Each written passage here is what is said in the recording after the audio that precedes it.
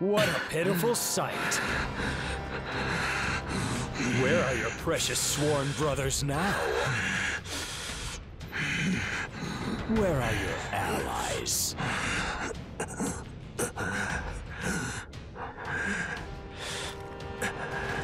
You understand, surely.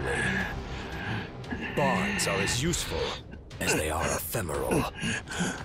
And yet, I still choose to believe in the strength of my brothers. Brother!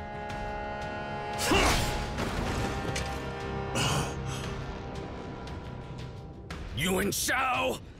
Don't you touch him, you cur! You are all bound together in life. And so too you will be in death!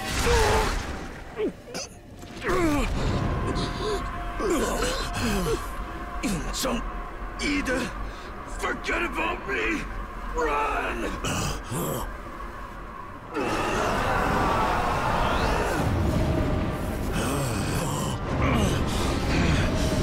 Brother, what's happened to you?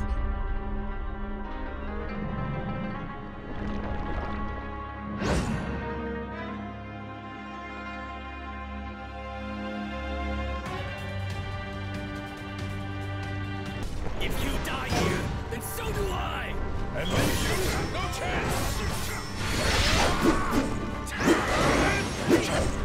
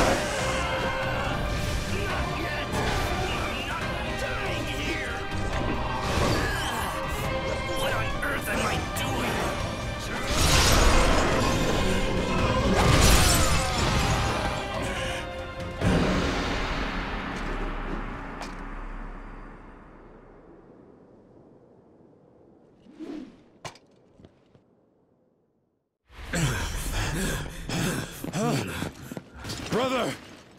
Brother! Come to your senses!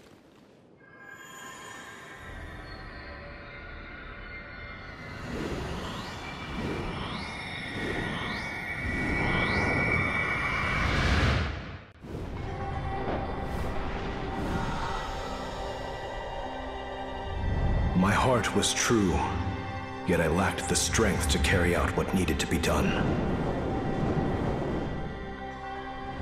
We who were born apart shall die together. That was my oath to Yunchang and Yide, and so we made our first step out into the world. I have fought hard and lost so very much, nearly even my life. But even in my darkest moments of despair, there was one thing I never lost the belief in my brothers. You showed me my beliefs were not misplaced. And so, with even stronger bonds to support me, I shall continue to strive forward.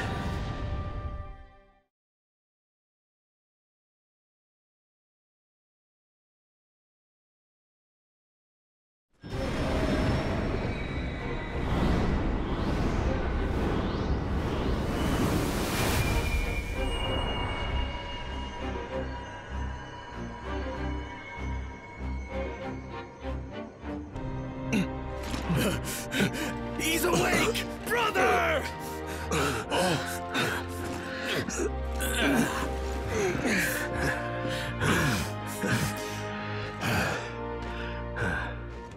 The memories of you and my brothers here quelled the raging demonic chi within me. I will always remember what you've done.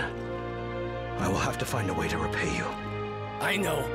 Why don't we watch the blossoms? I know a good spot for it. Sounds good to me. But our battle is far from over. Yuan Shao would have all the land fall under the thrall of his demonized army. There was an unearthly sky reaching over Guandu.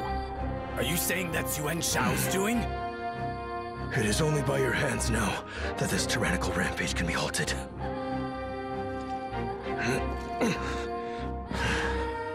We will do what we can here. Return to Minister Cao.